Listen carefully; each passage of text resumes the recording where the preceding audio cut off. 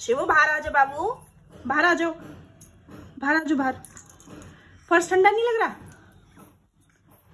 बाबू, ठंड हो रही है फ़र्स्ट ठंडा है, बच्चे, बाहर आ जा। शिमो नहीं मानेगा। नहीं मानेगा।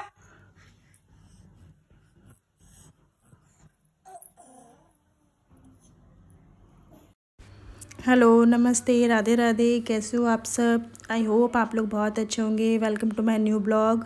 आज बुधवार है, बाईस तारीख है और अभी बज रहे हैं साढ़े दस। नाश्ता हो गया है हम लोगों का और मैं शिमोन को लेके आ गई हूँ ऊपर वाले रूम में, अपने रूम में, क्योंकि इसकी मुझे मालिश करनी है और फिर कपड़े चेंज करूँगी। लेकिन उससे पहले मैं थोड़ा सा डस्टिंग कर रही हूँ ऊपर के रूम में, क्योंकि सारे बिस्तर वगैरह ऐसे ही फैले हुए थे कम्बल वम्बल तो वो भी समेट के रखूँगी। वैसे तो अब कोई कंबल ओढ़ता नहीं है, बस ऐसे ही फैले रहते बेड पे, क्योंकि गर्मी थोड़ी सी होने लग गई है अब यहाँ पे, और ओढ़ने का मन ही नहीं करता तो इसलिए कोई फ़ायदा नहीं है, अब इनको मैं धो के रख ही दूँगी। रजाई के कवर तो मैंने धो के रख दिए हैं, और अब आज मैं रख दूँगी रजाई भी, लेकिन कंबल अभी दो चार दिन के बाद रखूँगी। देखती हूँ कहीं और दोबारा ठंड हो गई, फिर निकालना पड़ेगा, इसलिए मैंने अभी कंबल नहीं धोए हैं तो ये मैं कुछ दिन के बाद ही धोऊँगी। और वैसे आप लोगों को पता ही है कि काफ़ी टाइम के बाद मैं ब्लॉग शेयर कर रही हूँ, क्योंकि लास्ट ब्लॉग मैंने जो शेयर किया था वो वैलेंटाइंस का ही था और उसके बाद मैंने कोई वीडियो शूट नहीं किया, क्योंकि थोड़ा सा मुझे टाइम नहीं मिल पा रहा था और मूड भी थोड़ा ऐसे ही चल रहा था, डिस्टर्ब सा। तो आज मूड मेरा ठीक था तो मैंने सोचा थोड़ा सा वीडियो शूट कर लेती हूँ और आप लोगों के साथ शेयर करूँगी, क्योंकि काफ़ी दिन भी हो गए थे और पता नहीं क्यों मन नहीं कर रहा था कुछ भी करने का। इसलिए मैंने कोई वीडियो नहीं शूट किया था तो आज मैं कर रही हूँ। और अभी मैं करूँगी शिमोन की मालिश, क्लीनिंग वगैरह मैंने कर दी है। और आपको मैं बताऊँ, शिमोन जो है अब काफ़ी बार बेड से बार बार गिर जाता है। क्योंकि अब ये है, जैसे अगर मैं इसे सुला के चली जाती हूँ नीचे किचन में या किसी काम से तो ये उठ जाएगा। और अगर पहले तो क्या था कि इसके रोने की आवाज़ आती थी तो पता चल जाता था मुझे कि ये उठ गया है तो मैं आ जाती थी रूम में। लेकिन अब ये है, शांति से उठता है बिल्कुल। पता ही नहीं चलता और उठ के फिर भागने की कोशिश करेगा बेड पे से और ये तभी नीचे गिर जाता है। कई बार ये नीचे गिर चुका है और इतनी चोट लग जाती है और बार बार सर में ही लगती है इसके। और आज भी ये गिर गया है और कल भी गिर गया था। बार बार इसके सर में ही चोट लग रही है। इतनी कोशिश करती हूँ ना गिरे। बहुत इसको बचा के रखते हैं हम लोग कि बेड पे से बार बार ना गिरे क्योंकि सर में चोट लगना भी ज़्यादा सही नहीं है। लेकिन फिर भी हो ही जाता है कब कुछ ना कुछ। चलिए, कोई नहीं। अब ध्यान रखूँगी मैं ताकि ये गिरे ना। और अब मैं इसकी मालिश कर चुकी हूँ और कपड़े पहना के फिर मैं सुलाऊँगी। अगर ये सो जाता है तो अच्छा है, नहीं तो फिर मम्मी को दे दूँगी नीचे।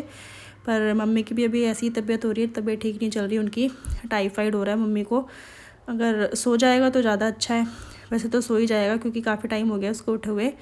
तो अभी सो जाएगा, फिर मैं जाऊँगी नीचे किचन में। क्योंकि अभी मुझे खाना बनाना है, दिन के लिए सब्ज़ी भी बनानी है और रोटी भी। अभी सिर्फ़ नाश्ता ही किया है सब लोगों ने। तो अभी मैं फटाफट से इसको सुलाती हूँ, फिर मैं चलती हूँ नीचे किचन में। शिमोन सो गया है तो चलिए अब चलते हैं किचन में। खाना बनाना है मुझे, और अभी देखिए मैं आ गई हूँ। सबसे पहले तो ये थोड़ा सा बर्तन वर्तन फैले हुए हैं, ये समेट देती हूँ। कान्हा जी के भी बर्तन है तो इन्हें तो मैं पहले ही धो के रख देती हूँ, क्योंकि कान्हा जी के बर्तन मैं बाकी बर्तनों के साथ नहीं धोती। क्योंकि हर तरह के बर्तन होते हैं, फिर जूठे बर्तनों में मैं नहीं रखती उनको तो इसलिए पहले ही रख देती हूँ मैं धो के उनके बर्तन। और आलू उबलने रख दूँगी मैं। आलू की सब्ज़ी बनाऊँगी क्योंकि सब्ज़ी और कुछ तो थी नहीं तो मम्मी ने बोला था आलू बना लियो थोड़े से। और मम्मी को तो बिना छुकी हुई सब्ज़ी खाने के लिए बोला हुआ है तो उनके लिए अलग से निकालूँगी थोड़ी सी। तो अभी आलू उबाल देती हूँ मैं, जब तक आलू उबलेंगे मैं रोटी सेकूँगी। और मैं सोच रही थी रजाई भी रख देती हूँ बेड के अंदर तो देखती हूँ, पहले अपना ये रोटी का काम कर लेती हूँ, फिर मैं रजाई रखूँगी बेड में।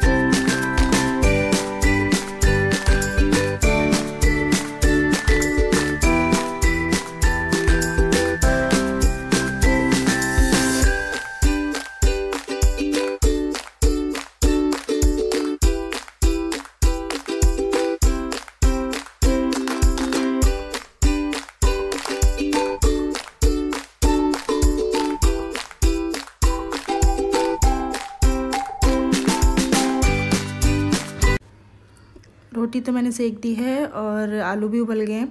ठंडे होने के लिए रख दिया है मैंने आलू। उसके बाद, फिर सब्ज़ी बनाऊँगी मैं। मैं सोचा जब तक ठंडे हो रहे हैं आलू, तब तक मैं जो है रजाई बेड में रख रख देती हूँ। क्योंकि धुली हुई रजाई है, फिर गंदी होती रहेगी, बाहर रहेगी तो। तो इसलिए मैंने पहले सारा सामान निकाल दिया इसमें का। थोड़ा बेड साफ़ कर देती हूँ, क्योंकि धूल हो रही थी इसमें। तो सारा सामान निकाल के फिर मैं रजाई रखूँगी। और उसके बाद ये बाकी का सामान भी इसमें सेट करूँगी। अभी दो तीन रजाई और भी रखनी है लेकिन अभी वो धुले नहीं है उनके कवर तो वो अगली बार जब भी, भी मशीन लगाऊँगी तब धोऊँगी। और बेड में भी देखती हूँ कैसे जगह बनाऊँगी क्योंकि जगह ही नहीं है सामान रखने की और तीन रजाइयाँ अभी इसमें और रखनी है और बेड पूरा फुल हो रहा है। अब देखती हूँ जब रखने का टाइम आएगा तब थोड़ा सा सामान एडजस्ट करके फिर रखूँगी। तो अब सामान मैं रख दूँगी इसमें और अब मैं बनाऊँगी सब्ज़ी।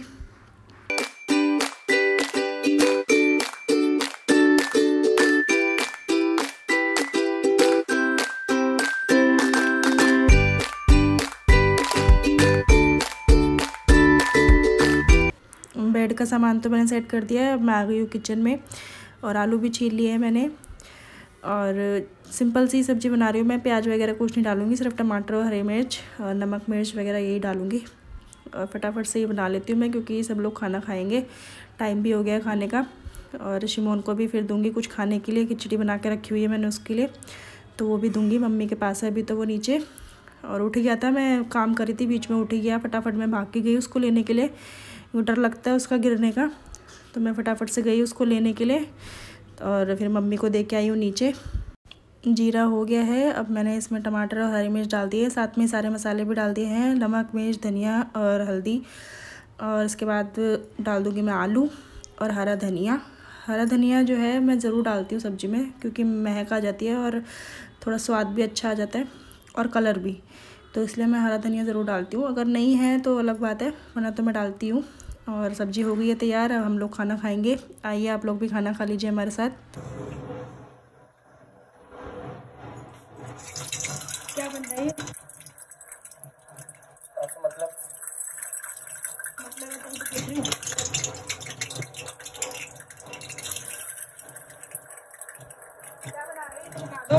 ये बना रहा हूँ अंडा करी। दूसरे को नहीं खानी अंडा खानी नहीं ढक्कन लगता ढक्कन ढक्कन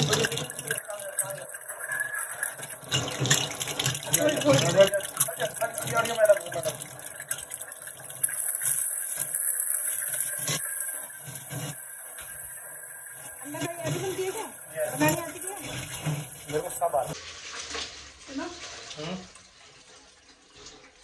ऐसे बनता है क्या? बनता है यार पंगे मत करना अंडे खराब हो रहे हैं। बनाने नहीं आता तो मैं तो खराब होंगे ना। ठीक है आ जाए ना थोड़ा थोड़ा खतरों की खिलाड़ी हैं। करी बन गया करी। मैं तो खाऊँगी नहीं फिर फ़ायदा क्या बनाने का? तेरे लिए थोड़ी देर में बनाऊँगा ना मैं। मेरे लिए क्या बनाओगे तेरे लिए बनाऊँगा। हरी मिर्च और लाल मिर्च की चटनी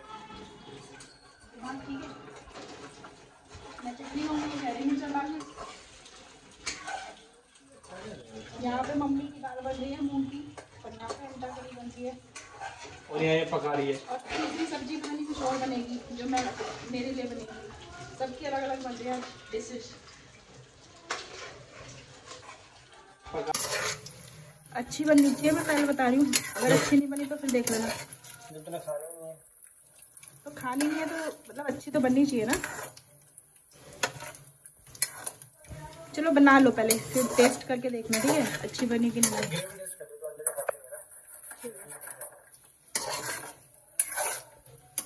पहले ऐड करी बनने देते हैं फिर हम टेस्ट करके बताएँगे कि अच्छी बनी कि नहीं बनी। ये मिस्टर फेल हुए के पास हुए उसका पता चलेगा थोड़ी देर के बाद। तो यहाँ पकाओ मत बता दो नहीं तो तेल में लग सकता है ओके ऐड करी हो गई है तैयार। देखने में तो अच्छी लग रही है लेकिन स्वाद कैसा आएगा वो खाने के बाद पता चलेगा। तो अभी मैं रोटी सेकूँगी और जब ये लोग खाना खाएँगे तब पता चलेगा इसका स्वाद अच्छा है या नहीं है। तो मैं आपको बताऊँगी ज़रूर अगर अच्छी बनी होगी तो देखते हैं। खाना बन चुका है और अब मैं मम्मी पापा की प्लेट लगा रही हूँ। और मम्मी के लिए मैंने अलग से बनाई थी दाल। क्योंकि मम्मी अंडा नहीं खाती हैं और मैं भी नहीं खाती अंडा क्योंकि अंडे से मुझे एलर्जी है और अगर मैं खा लेती हूँ तो मुझे तुरंत ही वॉमिटिंग हो जाती है। लास्ट टाइम मैंने जब शिमोन हुआ था तब खाया था क्योंकि डॉक्टर ने बताया था कि स्टिचेस वगैरह थे तो जल्दी ठीक हो जाते हैं उससे। लेकिन मैंने वन फोर्थ अंडा खाया था और उसके दस मिनट के अंदर ही मुझे वॉमिटिंग हो गई थी। तो मैं अवॉइड ही करती हूँ अंडा और इसीलिए मैं नहीं खाती, मुझे पसंद ही नहीं है। इसमें स्मेल भी इतनी गंदी लगती है मुझे तो।